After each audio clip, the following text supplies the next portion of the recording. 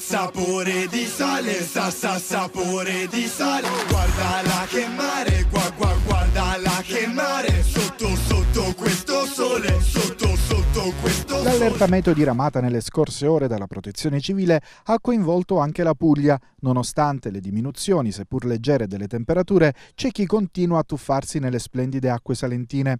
Il tempo, caratterizzato da nuvole e minacce di pioggia, non ferma i ciclisti che continuano a godere della novembrata di questi giorni. Calo delle temperature, ma non in maniera drastica. C'è chi continua ancora a fare le parole crociate, a prendere un po' di sole e chi, i più coraggiosi, si buttano anche in acqua.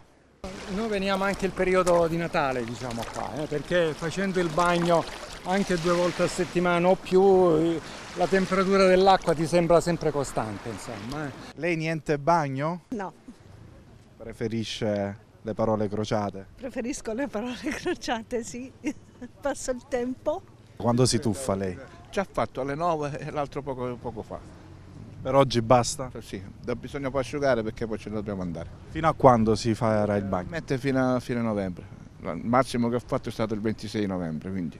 Per poi riprendere? eh, 25 aprile riprendiamo solo le feste.